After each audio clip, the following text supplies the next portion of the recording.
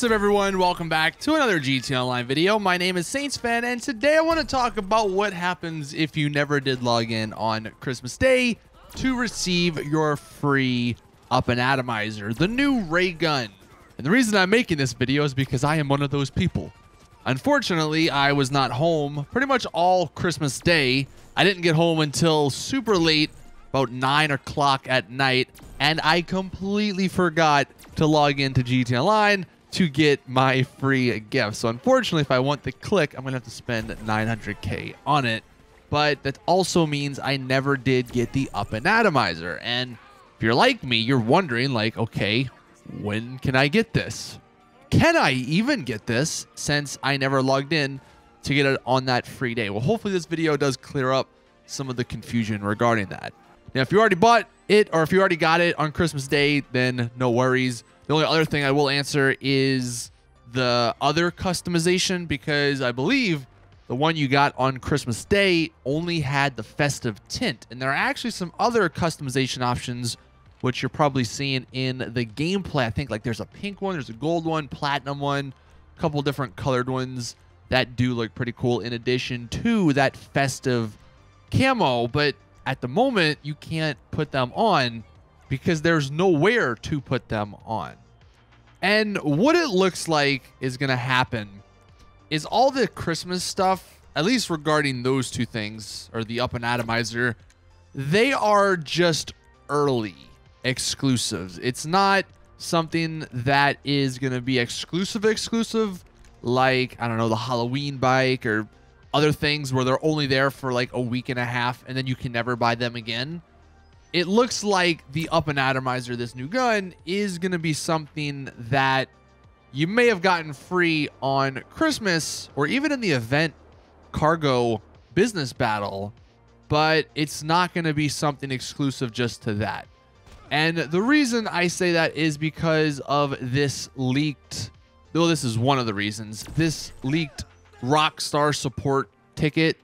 If we take a look at on it they accidentally gave some information about the three new weapons, and they said the Up-N-Atomizer will not be released until January 1st, which is next Tuesday, and then the other two are coming the following Tuesday on the 8th.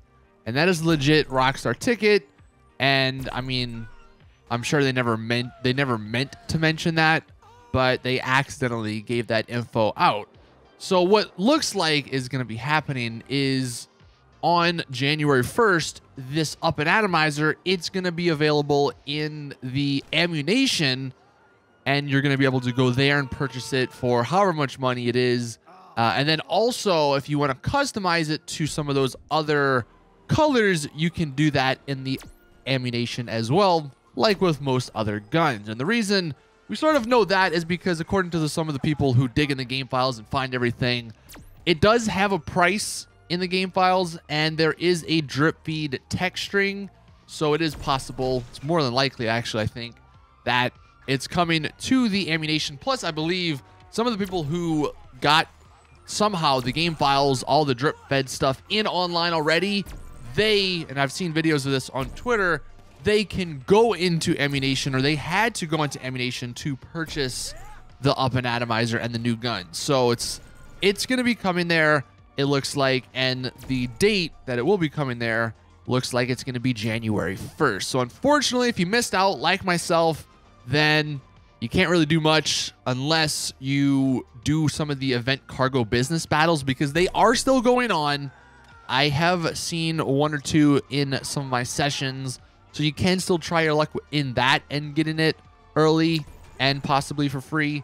But if not, if you don't really want to deal with all that, then you can just wait. I mean, it's not like an official thing, but all the evidence is pointing towards January 1st, this thing coming to the Ammu-Nation so we can buy. Now, I am hoping because this this little weapon here is so much fun. I am hoping they don't nerf it. I feel like they will because we're having the community is having way too much fun with this. I mean, blowing cars up and blowing all the cops and everything out the way it's just so much fun, especially get hopping on a train and going around and just blowing stuff up. And the fact that there's no ammo, so you can never run out.